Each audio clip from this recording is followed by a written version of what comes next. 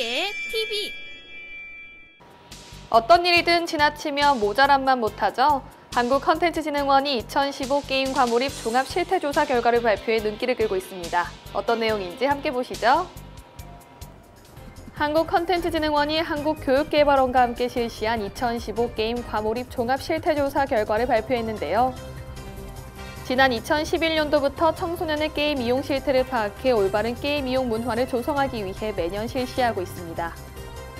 이번 조사는 스마트폰 게임 이용자 증가 등 변화하는 게임 이용 환경 및 이용자 특성을 반영해 전국 828개 초중고생 15만 2,841명의 표본으로 조사됐습니다. 조사 결과 문제적 게임 이용 행태를 보이는 과몰입군은 0.7%로 지난 2013년부터 15년까지 3년간 동일했고 과몰입 위험군은 1.8%로 지난 1.5%에서 0.3% 소폭 상승한 것으로 나타났습니다. 청소년의 과도한 게임에 이용하고 저연령화 문제는 예, 청소년들의 그 각종 가족관계 문제라든가 학교 생활, 각종 비행 등과도 연관이 되어서 큰 사회적 문제가 되었고 이에 대한 효과적인 정책적 개입이 필요하다라고 판단되어 예, 조사를 진행하게 되었습니다.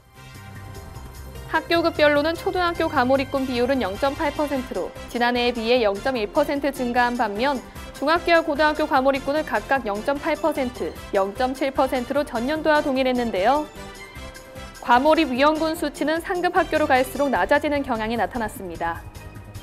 지역 규모별로는 읍면 지역 과몰입군 0.9%, 과몰입 위험군 2.1% 비율로 타 지역에 비해 높은 것으로 드러났고 이어 특별시, 중소도시, 광역시 순으로 기록됐습니다. 성별 게임 행동 유형 조사에는 예년과 비슷하게 남학생이 여학생에 비해 과몰입도가 더 높은 것으로 나타났습니다.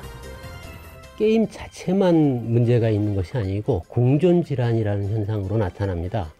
정신과적인 문제들 가진 학생들도 게임에 많이 몰입하고 있는 것이지 게임 자체가 원인이다 또는 아니면 우울증이 원인이다 이 원인과 결과를 어떤 것에 둘 수는 없는 공존되어 나타나는 현상입니다.